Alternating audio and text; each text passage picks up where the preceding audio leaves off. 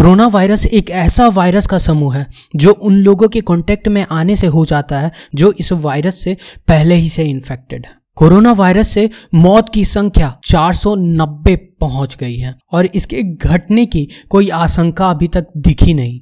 अभी तक के अनुसार 24,324 लोग इससे पीड़ित हैं। वो भी पूरे विश्व स्तर पर। और हेल्थ एक्सपर्ट ने कहा है कि मौत की संख्या में बढ़ोतरी दिखी जा सकती है। और अनुमान लगाया जा रहा है कि ऑफिशियल डाटा में बताए गए अनुमान से कई गुना ज़्यादा मौत हो चुकी है। चाइनीज़ साइंटिस्ट की रिपोर्ट की माने तो उन्होंने एक नया अप्रोच तैयार किया है इस कोरोना वायरस की ट्रीटमेंट के लिए। उन एंटीवायरल ड्रग का इस्तेमाल किया जा रहा है, जिनका एच और इन्फ्लुएंजा के लिए इस्तेमाल किया जाता है। पर अभी तक ये नहीं पता चला है कि इससे कितने मरीज़ ठीक हुए हैं। कोरोना वायरस के पहचानने के कुछ सिम्टम्स इस प्रकार हैं। हमारे सांस लेने वाले नली में दिक्कत मतलब हम ठीक से सांस नहीं ले पाते हैं। फीवर, कफ और दर्द। इसके कारण किडनी फेल भी हो सकती है और मौत तक हो सकती है। इससे बचने के लिए अपने हाथ को लगातार साफ़ रखें, अपने मुँह और अपने नाक कान को ढक कर रखें। अगर आप अंडे या मीट खाते हैं तो उसे अच्छे से पका कर खाएँ। किसी के साथ जैसे आप अपने आसपास के लोगों के साथ काफ़ी नज़दीक नहीं आए। अगर किसी को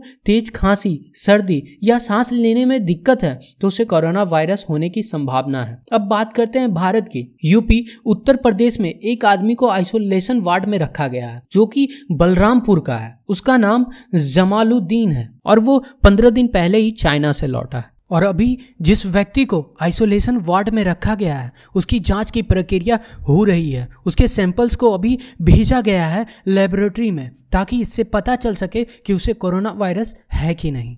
अभी तक कोरोना वायरस की तीन पॉजिटिव रिपोर्ट आ चुकी है, जो कि तीनों केस केरल की थी। और वो लोग जिनमें ये कोरोना वायरस पाया गया, वो भी कुछ दिन पहले ही चाइना से भारत लौटे थे। एक बात हमेशा याद रखिए, आप तब तक कोरोना वायरस के शिकार नहीं हो सकते जब तक कि आप उन लोगों के कांटेक्ट में नहीं आते जो इस कोरोना वायरस से पहले से इन्फेक्टेड है। इसीलिए हमेशा लोगों के कांटेक्ट में आने से ज़रूर बचें। सतर्क रहिए और अपने सेहत का ख्याल रखिए। फिर मिलेंगे एक नई अपडेट्स के साथ।